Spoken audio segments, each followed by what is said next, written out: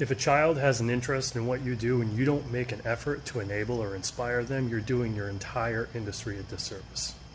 So I've got this old toolbox, your classic red craftsman with a handful of miscellaneous tools, hammer, some pliers,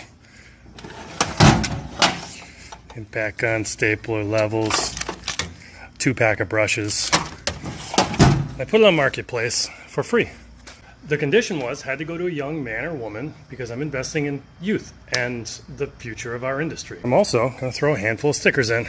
Kids are people too, and people love stickers. Got some NOS, Falken tires, some Rotbox, Xtanium, one of my own,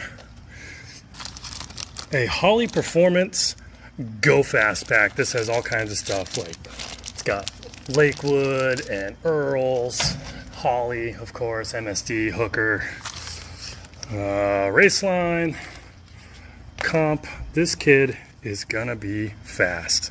Nitro gear and axle, precision turbos, wire care, of course, MSD,